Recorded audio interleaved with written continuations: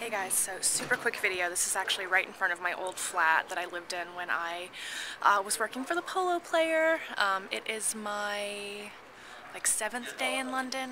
Um, there's so much people walking around, so I'm kind of embarrassed to be making videos, but I just went to a Bare Escentuals press breakfast at Harvey Nicks, um, and then I am now heading to Harrods, and uh, my old place is about two blocks away from Harrods, so I decided that I would stop by and uh, take a peek, just for sort of memory's sake. Um, and uh, yeah, so you know, this is this is the flat. It was a three, four, three floor flat that I lived in when uh, I lived here a couple years ago. And that's actually where I finished my first book, where I finished Beauty Confidential. So there you go. Um, it's been an amazing trip so far. We went to see Legally Blonde on the West End.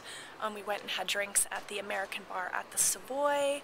Um, I feel like I've been doing a hotel tour of England actually because I've been to Claridge's, I've been to Duke's, I've been to the Savoy. Um, I feel like I've been to a couple other hotels as well. But anyhow, it's been a great trip so far. I've had a ton of fun. Um, later today I'm going to go by Westminster Abbey. Then I'm meeting my family for dinner tonight. Have seen a bunch of friends. Um, and then next week is the trips abroad, going to Wales and going to Scotland. Um, so, so far it's been an amazing trip and uh, more to come soon.